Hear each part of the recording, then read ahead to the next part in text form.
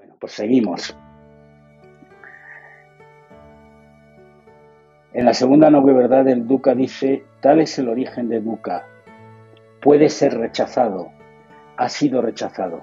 Al origen de Dukkha él lo llama Tanna en Pali, que ha sido traducido por sed, ansia, apegarse, apego. O sea, y ha sido interpretado, y es una interpretación reduccionista, como los vicios personales de apego que uno tiene. Es eso, pero no solamente es eso, es mucho más. Añade el Buda que el origen de Dukkha, que conduce a la existencia repetida, abandonando la vida y queriendo permanecer.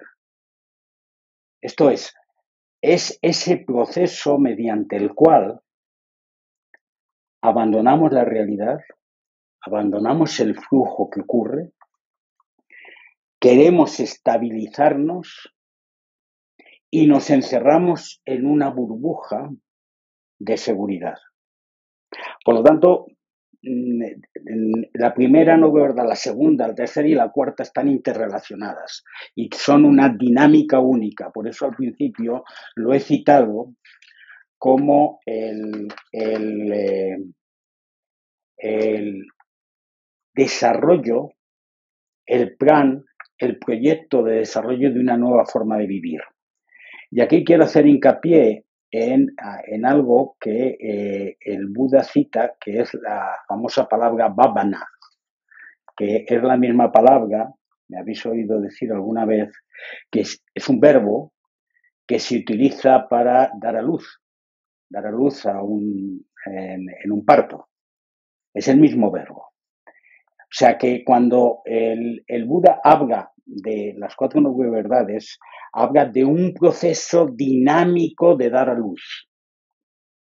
Cuando esto se tradujo al chino, eh, este proceso de bábana desde el vientre se colocó más arriba, se le llamó sin y se le dio estabilidad. Luego ahí hubo un error.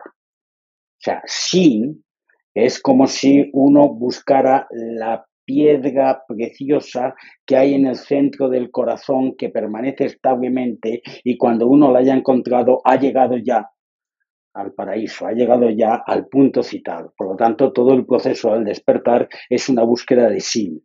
No. Todo el proceso de despertar es un desarrollo de dar a luz permanente que nunca termina. Dar a luz que esa llamada estirpe espiritual, esa llamada forma de vivir dinámica. Entonces, en el primer noble verdad hemos citado es conocer, conocer la distancia en cada momento entre nuestra interpretación y la realidad y aceptar profundamente, aunque duela, aunque en algún momento no nos guste, aunque en algún momento nos resistamos, a la realidad tal y como se presenta sin intentar controlarla, sin intentar manipularla. Y eso genera una dinámica de un proyecto vital determinado. Pues en este segundo, la forma de aceptar eso pasa por no pretender abandonar la vida, no generar una burbuja y no pretender permanecer. Con lo cual, efectivamente tiene que ver con aquellas cosas a las que nos apegamos, pero tiene que ver también con un proceso vital general de aceptar ese cambio con todas las consecuencias.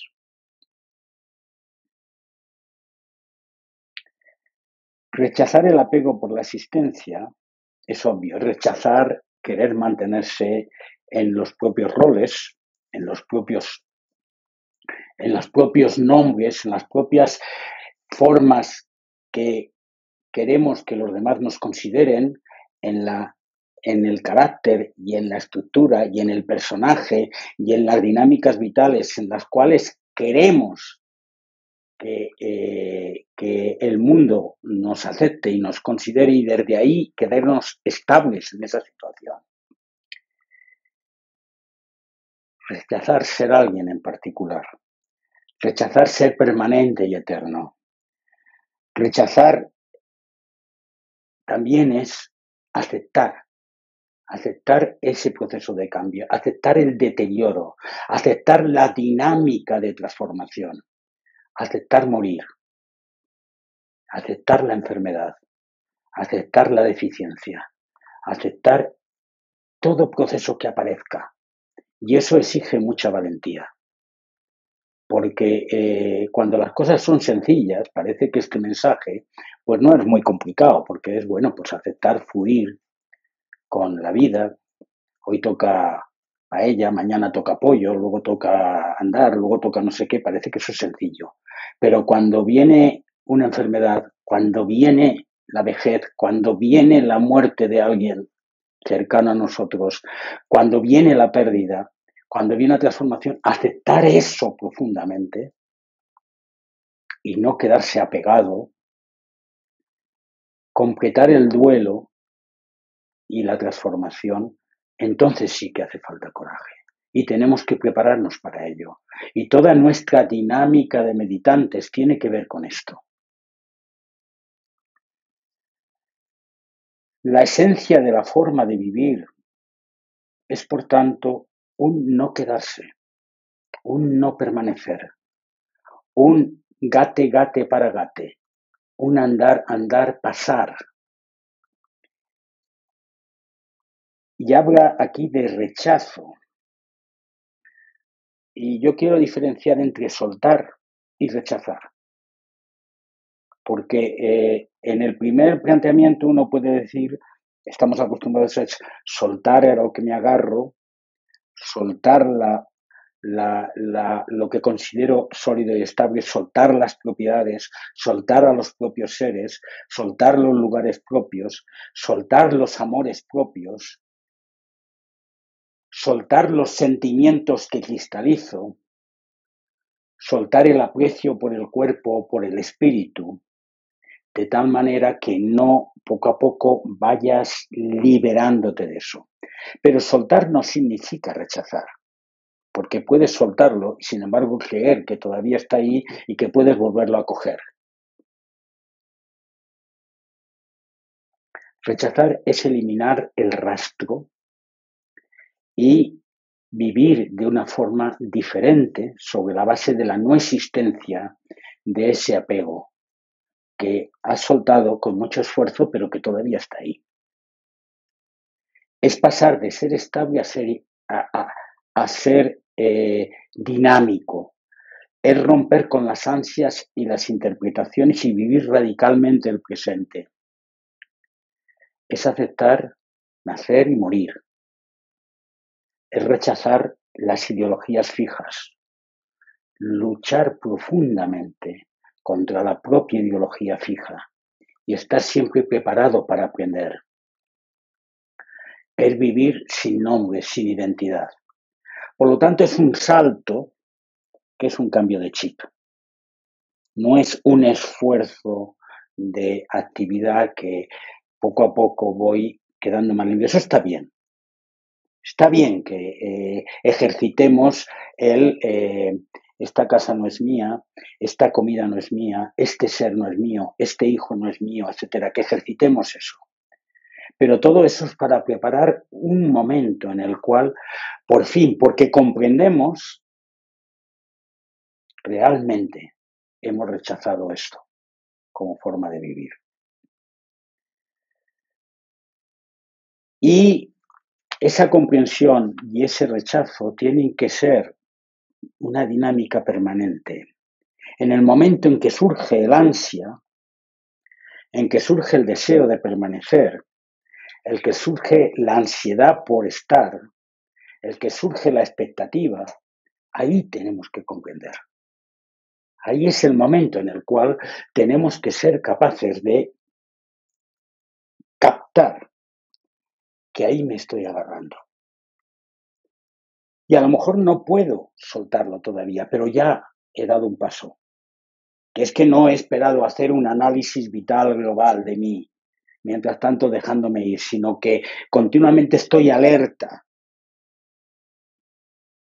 Estoy en comprensión. Estoy en una dinámica de aceptación del cambio y desde ahí estoy continuamente captándome y diciéndole y diciéndote, Pedrito, Pedrito, estar metiendo la patita. O Ignacio, Ignacio.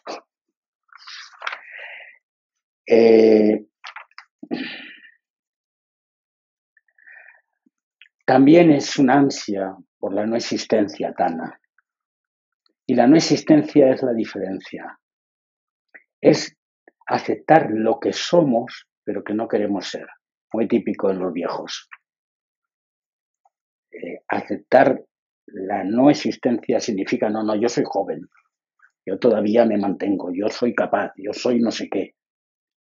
Cuando no aceptamos ese proceso de cambio, es rechazar las diferencias. Este es diferente a mí. Las diferencias son rico, pobre, blanco, negro, eh, de arriba y de abajo, de derecha a izquierda. ¿Os acordáis del, término evangélico, de cuando se habla de entrar en el reino, cuando hagas, no hagas diferencia entre el hombre y la mujer, entre arriba y abajo, entre dentro y fuera? E, este es el mismo término, el mismo texto. Porque el rechazo de Tana supone la aceptación de un igualitarismo radical. No hay nada ni nadie diferente. Y esto tiene que ver con una comprensión profunda de que estamos, que todo está interconectado. A veces sentimos una profunda compasión por algo que pasa, alguien que está sufriendo, cuando vemos en la televisión o tal. Pero de esa profunda compasión a sentir que lo que le pasa a esa persona me está pasando a mí, porque la conexión es completa, hay un salto. Y el, rechazo de la no existencia tiene que ver con esto. Lo digo porque el, Buda lo cita en, este sentido. Por lo tanto, habitar en la vida, porque esto empezaba, conduce abandonando la vida, por lo tanto, mm, la alternativa, el rechazo sería habitar en la vida. Habitar en la vida supone un compromiso radical con la existencia, con cada uno de los momentos. Y la pregunta es, ¿realmente soy así? ¿Vivo yo así? ¿Con un compromiso radical con la existencia? ¿Con una aceptación con todas las condiciones de lo que pasa en cada momento, de la aceptación en cada momento? ¿Ejercito mi vida porque a veces puede ser que no lo haga y a veces puede ser que lo haga, pero mm, tengo como proyecto de vida estar comprometido realmente con la existencia o estoy de retiro, de pasé. me cansa tanto todo esto que está ocurriendo que yo me meto en mi nicho. El planteamiento, al menos el programa al cual llama el Buda, es aceptar un compromiso radical con la existencia. Y aquí quisiera citar, para terminar este elemento, un texto de, de Lynchi que habla de esto. El eh, Lynchi, ¿os acordáis? Eh, Rinsai en japonés. Y, realmente un maestro antecesor de la escuela nuestra. Lo importante, dice Lynchi, es contemplar las cosas con una comprensión adecuada y verdadera. Una persona de valor es el que no tiene nada que hacer. Entender qué es esto de no tiene nada que hacer. El que no se plantea proyectos, metas, objetivos, dinámicas, cálculos, controles, etc. No intentéis hacer nada en especial simplemente actuar de un modo ordinario. Sin cesar buscáis algo fuera de vosotros, intentando poner las manos en alguna cosa. Es un error. Tampoco pongáis vuestro esfuerzo en el interior, tratando de encontrar una realidad suprahumana. Es encadenados. No me preocupa que comprendáis los sutras y los tratados. Ahí podríamos extender sutras, tratados, grandes, grandes ideas de los grandes personajes, el Evangelio, la Biblia, etc. No me importa que seáis gobernadores o grandes hombres de Estado. No me preocupa que podáis verter torrentes de elocuencia. No me importa que desplieguéis intelectos brillantes. Todo lo que os pido es que cuando tengáis hambre comáis tu arroz. Cuando tengas sueño, cierra los ojos. Los tontos se ríen de mí, pero los sabios me comprenden. Es una auténtica provocación, ya lo sé. El planteamiento de Lynch es una auténtica provocación, pero tiene mucho que ver con una dinámica ordinaria de la traducción de la segunda noble verdad.